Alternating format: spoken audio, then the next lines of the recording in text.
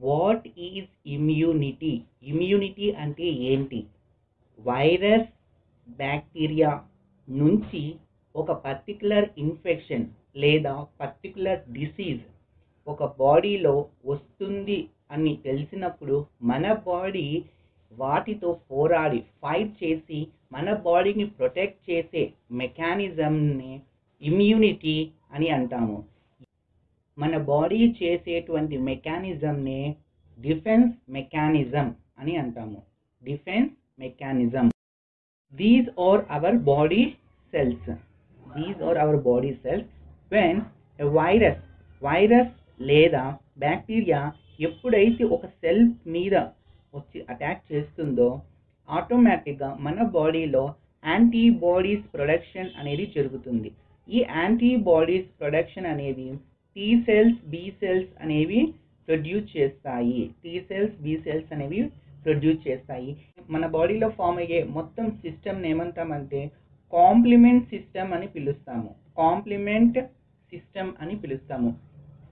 మన బాడీలో two types of immune systems అనేవి ఉన్నాయి. అవి ఏంటివంటే ఇన్నేట్ ఇమ్యూన్ సిస్టమ్ అనేది ఒకటి అడాప్టివ్ ఇమ్యూనిటీ అనేది ఒకటి. ఇన్నేట్ ఇమ్యూనిటీ అనేది మన బర్త్తో వచ్చేది అనమాట మన పుట్టుకతోనే వచ్చేదే innate immunity it is a non stop mechanism it is a non stop system adaptive immunity system is specific system ఇది తర్వాత బై ఆఫ్టర్ బర్త్ తర్వాత వచ్చేదాన్ని స్పెసిఫిక్ అని పిలుస్తున్నాము. ఇట్ ఈజ్ ఏ స్పెసిఫిక్ స్పెసిఫిక్గా ఒక పర్టికులర్ ఆర్గానిజంని కిల్ చేయడానికి అప్పుడు ఈ యొక్క ఇమ్యూన్ సిస్టమ్ అనేది యాక్టివేట్ అవుతుంది.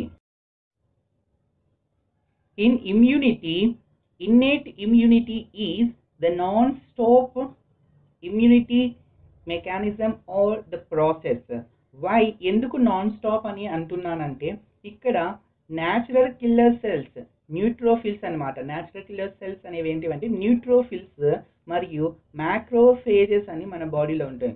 ఆ మ్యాక్రోఫేజెస్ న్యూ న్యూట్రోఫిల్స్ అనేవి ఎల్లప్పుడూ ఎప్పుడు కూడా నాన్ స్టాప్గా పని చేస్తూనే ఉంటాయి. అది త్రో మన బర్త్ ద్వారానే ఆ మెకానిజం ప్రాసెస్ అనేది జరుగుతూనే ఉంటుంది. కాబట్టి దీన్ని ఇన్నేట్ ఇమ్యూనిటీ సిస్టమ్ అని పిలుస్తున్నాము. ఇన్నేట్ ఇమ్యూనిటీ సిస్టమ్ ఇమ్యూనిటీలో రెండో రకం సెకండ్ టైప్ అడాప్టివ్ ఇమ్యూనిటీ అనేది సెకండ్ వన్ అడాప్టివ్ ఇమ్యూనిటీ అనేది మన బర్త్ తర్వాత మనం ఏదైనా ఒక డిసీజ్కి లేదా ఇన్ఫెక్షన్కి లేదా కొన్ని టాక్సిన్స్కి మనము గురైనప్పుడు అఫెక్ట్ అయినప్పుడు అప్పుడు మాత్రమే మన బాడీలో వచ్చేటువంటి ఇమ్యూనిటీ ఈ డెవలప్ అవుతుంది కదా కొత్తగా. దాన్ని అడాప్టివ్ ఇమ్యూనిటీ అంటారు. ఒక ఫస్ట్ టైం మనము ఒక ఇన్ఫెక్షన్కి కనుక ఫస్ట్ టైం మనం ఒక ఇన్ఫెక్షన్కి కనుక గురైనట్లయితే మన బాడీలోని బీ సెల్స్ అనేవి యాంటీబాడీస్ని ప్రొడ్యూస్ చేస్తాయి. మళ్ళా తర్వాత నయమైన తర్వాత కూడా క్యూర్ అయిన తర్వాత కూడా మరలా ఒకవేళ మనం అదే ఇన్ఫెక్షన్కి మళ్ళీ గురి అయితే ఈ ఫస్ట్ టైం ప్రొడ్యూస్ అయినటువంటి ఒక యాంటీబాడీస్ అంటే మెమరీ పవర్ బీ సెల్స్ అనేవి ఉంటాయన్నమాట. ఆ మెమరీ సెల్స్ అనేవి త్వరగా ఆ యొక్క మరలా వచ్చినటువంటి సేమ్ ఇన్ఫెక్షన్ని తొందరగా క్యూర్ చేస్తాయి. So here we're calling it as adaptive immunity it is a specific one it is killing specific organism like corona virus or any virus Zika virus or so many viruses etcetera I adaptive immunity is called as specific means here ఎందుకంటే ఇక్కడ antibodies production అనేది జరుగుతుంది.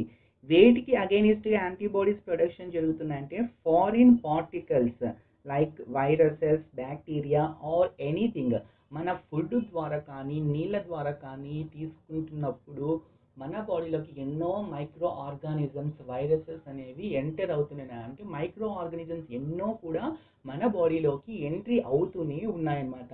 అప్పుడు మన బాడీలో natural system వచ్చేసి మామూలుగా జరిగేది ఎప్పుడు పనిచేసేది నాన్ స్టాప్గా అంటే ఇన్నేట్ ఇమ్యూనిటీ అని పిలుస్తాము. అందులో మనకు న్యాచురల్ కిల్లర్ సెల్స్ మైక్రోఫేజెస్ అనేవి పనిచేస్తున్నాయి. అదే అడాప్టివ్ ఇమ్యూనిటీకి వస్తే స్పెసిఫిక్గా ఒక పర్టికులర్ ఇన్ఫెక్షన్కి గురైనప్పుడు పర్టికులర్ మైక్రో ఆర్గానిజంని చంపాలి అని మెసేజ్ని మ్యాక్రోఫేజెస్ అనేవి పాస్ చేస్తున్న టీ సెల్స్కి అప్పుడు టీ సెల్స్ అనేవి యాక్టివిటీ అయ్యి బీ సెల్స్ అనేవి బీ సెల్స్ని కూడా యాక్టివేట్ చేసి ఏమవుతుందంటే స్పెసిఫిక్ యాంటీబాడీస్ ప్రొడ్యూస్ అవుతున్నాయి. Antibodies are nothing but they are also the proteins అన్నమాట.